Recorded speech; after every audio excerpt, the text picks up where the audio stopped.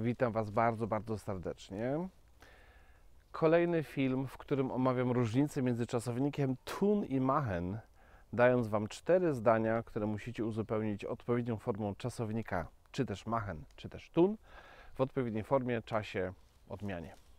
Zapraszam. Zdanie pierwsze. Po polsku brzmi ono tak. Ten rząd zrobił mało przeciwko bezrobociu, czyli tak to dosłownie zrobił mało e, w walce z bezrobociem, ale dosłownie zrobił mało przeciwko bezrobociu. Die Regierung hat wenig, ganz wenig gegen die Arbeitslosigkeit getan czy gemacht? Getan. Zrobił, uczynił, podjął decyzję, uchwały, ustawy, jakiekolwiek. Getan. Zdanie drugie.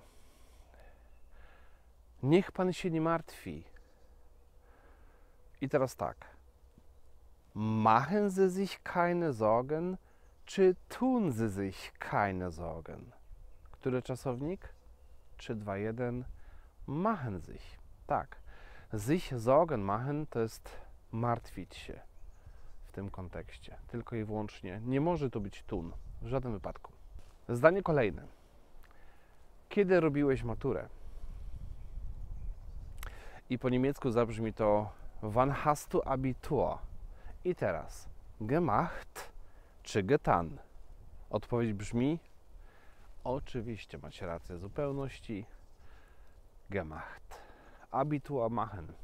Chodzi o to, że jest czasownik machen i on się bardzo dobrze łączy z rzeczownikami. Jest dopełnienie. Robić kogo co? Abitur.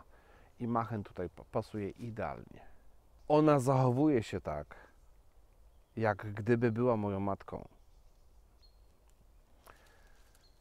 I teraz sie tut so, czy sie macht so, als ob sie meine Mutter wäre. Als ob sie, als ob sie meine Mutter wäre.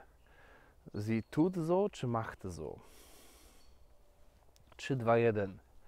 Tut so. Słuchajcie, konstrukcja z, tun, z czasownik tun łączy się z konstrukcją als ob, jak gdyby, który jednocześnie konstrukcja z als ob łączy się z przypuszczeniem, z koniunktywem. Tak, i będzie tut so. To wszystko na dzisiaj. Bardzo dziękuję. Za tydzień kolejny odcinek. Trzymajcie się, pozdrawiam Was bardzo, bardzo serdecznie.